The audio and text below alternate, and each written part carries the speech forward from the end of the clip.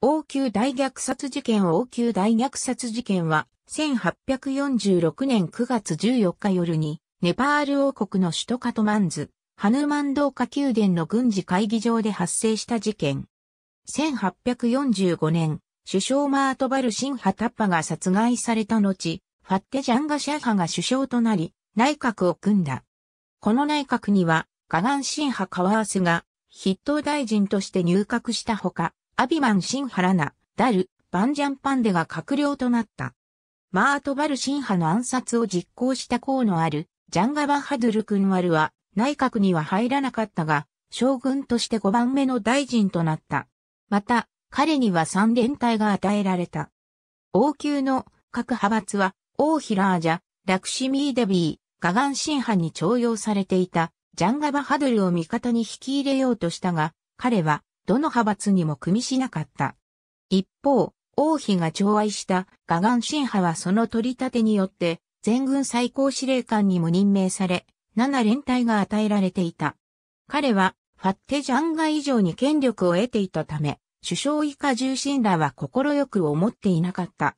1846年9月14日夜、ガガンシンハが自邸で礼拝供養中に暗殺された。ガガンシンハを暗殺したのはラールジャーという人物であった。王妃は寵愛していたガガンシンハの死を聞くと結婚し、アビマンシンハに命じ、全重臣を王宮の軍事会議場に招集させた。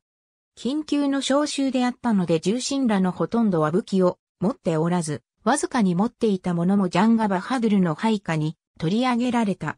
一方、ジャンガバハドゥルは自身の三連隊を連れてきており、軍事会議場を包囲した。アビマンシンハもまた自身の軍隊を連れてきていた。全重臣が軍事会議場に集まったが、ファッテジャンガとその関係者は来なかった。王妃がジャンガバハドゥルに誰が犯人か聞くと、彼はビール・キショール・パンデを示唆したため、王妃はアビマンシンハにビール・キショールの殺害を命じたが、ラジェンドラ王の反対を理由に殺害されなかった。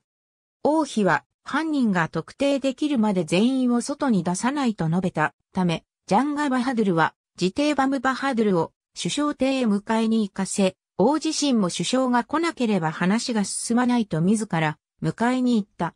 王はバムバハドゥルと共に首相を軍事会議場に向かわせ、自身はイギリス公使館へ向かった。首相がバムと共に到着すると、ジャンガはビール・キショール、加えてアビマン新派の殺害を首相に進言したが、首相は応じなかった。首相はアビマン新派のもとに向かった。王妃は首相のもとに向かい、ビール・キショールを自ら殺そうとしたが、首相らに止められた。王妃はその場を立ち去ろうとすると、ファッテジャンガ、ダル、バンジャン、アビマンシンハがその後を追った。だが、その時何者かが弾丸を放ち、ファッテジャンガ、ダル、バンジャンが死亡、アビマンシンハが負傷した。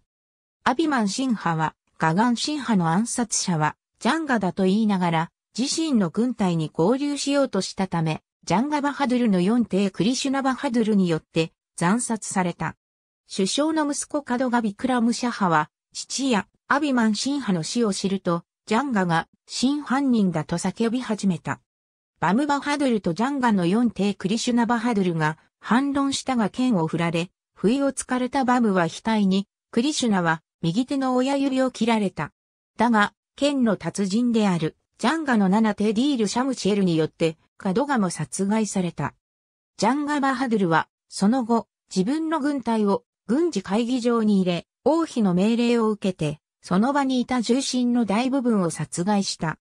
一方、イギリス公使館に向かった王は公使に会えず軍事、会議場に向かったが、すでに流血事件が起きていることを知り、首相邸へ引き返した。この事件は7時間以内に終わった。翌日朝、ジャンガバ・ハドルは王妃に謁見し、首相権全軍最高司令官に任命された。また、ジャンガは殺されて空席になった重臣の官位や、軍の役職に弟、老いといった一族を任命した。事件は早々に処理が行われた。王妃の命令で投獄されていたラールジャーをはじめ22人はジャンガバハドゥルによって国外追放された。また、この事件で殺害された者、逃亡した者の財産は没収され、その家族も、また国外に追放された。事件後、王妃は、ジャンガバハドゥルに、王太子スレンドラと弟のウペンドラを殺害し、自分の息子、ラネンドラを王にするように取り計らうように命じたが、ジャンガは拒否した。そして、ジャンガは必要によっては王妃を国宝によって罰すると述べたため、この裏切りに王妃は激怒し、その暗殺を企てた。これがバンダールカール事件につながっていった。ありがとうございます。